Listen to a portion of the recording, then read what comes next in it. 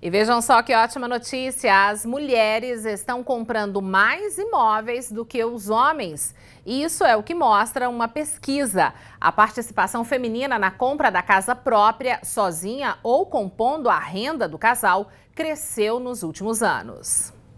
Apesar das mulheres terem o maior poder de decisão na hora da compra da casa, geralmente quem pagava era o homem ou o imóvel era comprado em conjunto. De cinco anos para cá, essa situação mudou. Uma pesquisa da inteligência de mercado da incorporadora RJZ Cirela aponta que atualmente 63% dos compradores de imóveis são mulheres.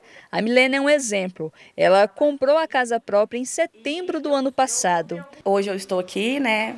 O primeiro imóvel, pretendo conseguir mais porque eu vejo como também um meio de investimento. Hoje, se eu for vender esse imóvel, eu consigo ter já um ganho nele. A Milena não esperou que algo na vida dela mudasse para adquirir o imóvel próprio. Assim que teve condição financeira, foi lá e realizou o sonho de ter o cantinho dela. Estava uns nove anos pagando aluguel.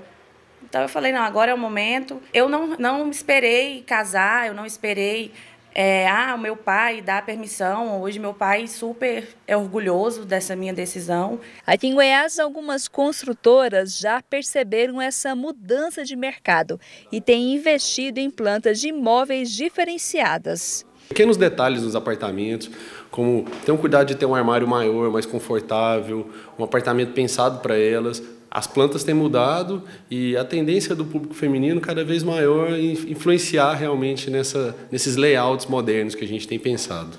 Um levantamento da Associação Brasileira de Administradoras de Consórcios também mostra o crescimento da participação de mulheres. Em maio, 35% das vendas de consórcios imobiliários foram feitas para mulheres, um aumento de 14% em relação ao mesmo período do ano passado. A participação de nós, mulheres, na economia brasileira tem sido fundamental. Tudo que a gente quer é uma economia forte, com mais compradores, e o público feminino para nós é fantástico. A gente quer que aumente assim.